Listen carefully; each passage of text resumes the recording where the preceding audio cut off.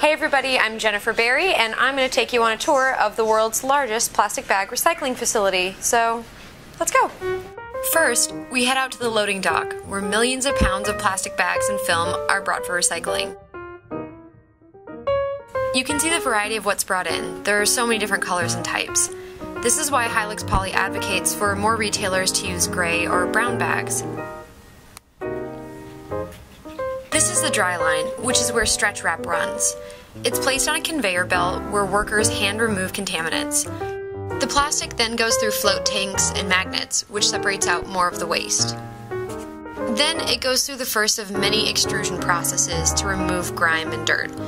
Extrusion involves melting the plastic to separate out contaminants, and uh, you can see this plastic goop leaving the machine, and that's what they're cleaning off.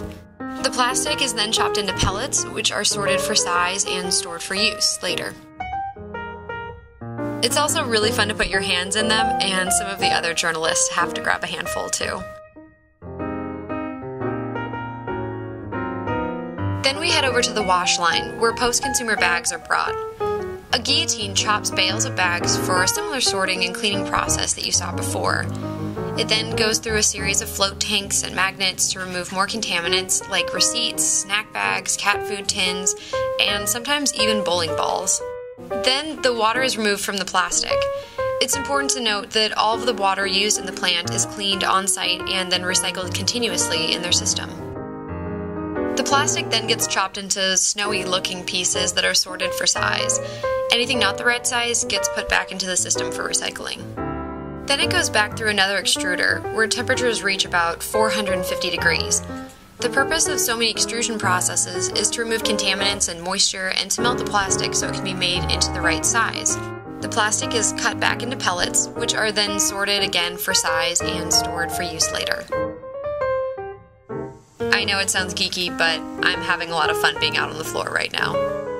Scrap from the plant, like the cutouts from creating the handles on the bags or misprints, are put back into the process. Altogether, the clean, recycled pellets consist of both post industrial and post consumer materials and are called CNV, or Compounded North Vernon, which is the name of the plant. The pellets are used to make new recycled bags at their manufacturing plant next door, or some are shipped mostly by rail to other Hilex Poly plants. The plant has its own testing facility, and the engineers there are always trying new recipes to incorporate different types of materials, even like shopping carts, into their process. Plastic pollution is definitely a problem, but preventing it starts with reducing our use and recycling everything we can. At the North Vernon plant, it's easy to see that the people here love their jobs and feel like they're really making a difference. I think Doug, who's been in this industry for a while, says it best. So here's a bag here that uh, we make, pretty proud of and everything, but it actually says on here, this is made by Hilex, owner of the world's largest bag recycling center, proudly located in North Vernon, Indiana, where recycled bags are made into new bags.